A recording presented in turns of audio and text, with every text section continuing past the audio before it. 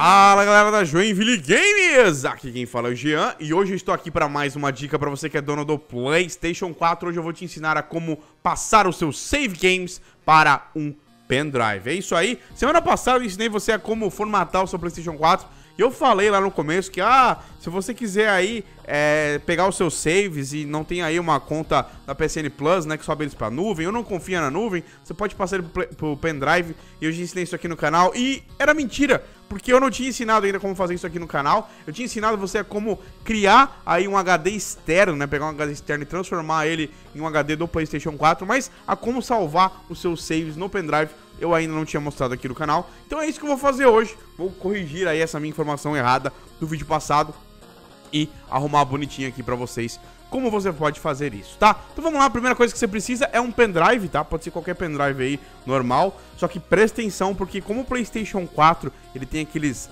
É, é, ele vai pra dentro, assim, você pode ver ali que o pendrive, ele tem que entrar num lugar meio apertado ali, tem alguns pendrives que não cabem no PlayStation 4, eles ficam para fora, assim, você não consegue encaixar eles direito na parte é, da frente. Na parte de trás você consegue encaixar quase todos, tá? Então, se você estiver tendo, tendo, problema, tem um USB na parte de trás, então conecta lá. Mas presta atenção, pega os, os mais magrinhos, assim, que você conseguir, que daí eles conseguem encaixar em qualquer porta USB aí do seu PlayStation 4, beleza? Mas aí foi lá, colocou aí o seu pendrive no seu Play 4, pode pegar, cara, tirou ele da caixa ali, bota ele direto no PlayStation 4 que já vai funcionar. Colocou aí, beleza, bonitinho, tranquilo. Você vai vir aqui agora na parte que a gente sempre vem aqui, configurações nessa caixinha de ferramentas e você vai procurar aqui gerenciamento de dados salvos do aplicativo, tá? Clicou aqui, você vai ter essa primeira opção aqui chamada dados salvos no armazenamento do sistema. Então, escrito ali, ó, é possível copiar dados salvos para o armazenamento online ou para um dispositivo de armazenamento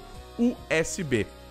Então a gente vai clicar aqui muito bonito. E tem aqui, ó, para fazer o upload no armazenamento online. Isso aqui eu já ensinei aqui no canal, para você subir para a nuvem. E agora a gente vai utilizar isso aqui, ó, copiar para dispositivo de armazenamento USB. Quando você clicar aqui, ele vai tentar achar o seu pendrive. Pode ver que ele vai dar um tempinho aí para ver se será que tá conectado mesmo? Será que não tá? Será que esse pendrive é de verdade? Será que é fictício? Oh meu Deus do céu, o que é isso que está conectado em mim?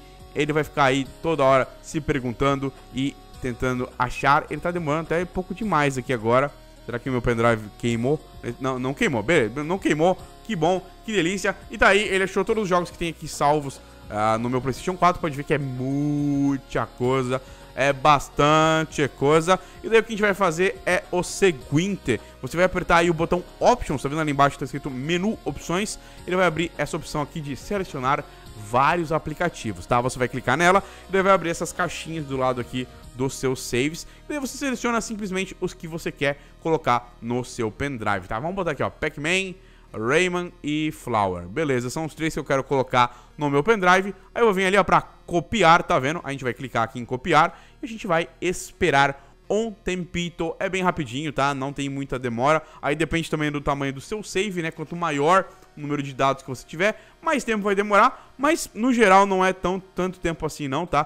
Pode ficar tranquilaço aí em relação a isso. Espera aí, espera a barrinha carregar, dá aquele tempo aí, fica ali, né? Assovia o negócio. E pronto.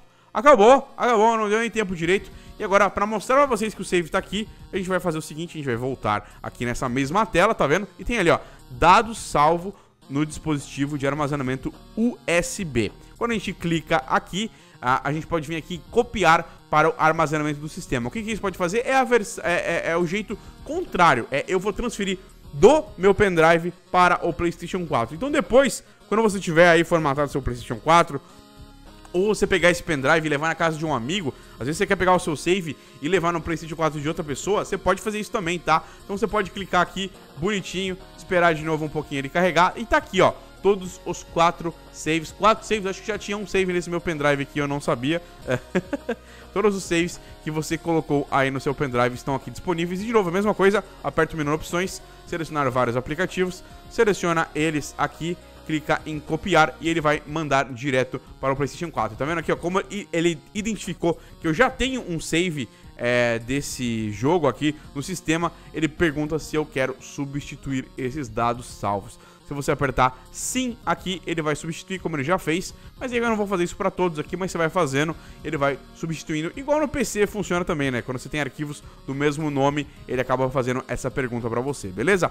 Então é isso aí, cara. Essa era a dica mega ultra simples, mais uma dica que pode ajudar você bastante, tanto para você pegar os seus saves aí, às vezes aqueles saves mais importantes, ou aquele save que eu falei, você quer levar na casa de um amigo, quer levar a galera que joga Master Liga, joga modo carreira, você pode levar aí os seus saves na casa do seu amigo para vocês aí jogarem, né, um com o time do outro aí da Master Liga. Então você pode fazer esse tipo de coisa, é bem divertido. Ou às vezes tem um jogo de luta, você tem todos os personagens abertos e o seu amigo não tem. Você pega o seu save, leva na casa do seu amigo e vocês podem jogar com todos os personagens abertos aí. Então é isso aí, muito simples essa dica, mas muito útil aqui pra você que tem um Playstation 4, beleza? No mais é isso aí, eu vou ficando por aqui, espero que vocês tenham gostado.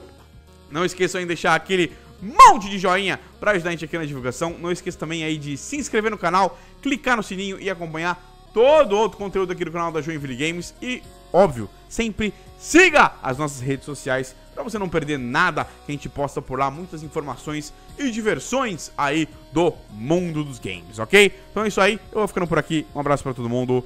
E também...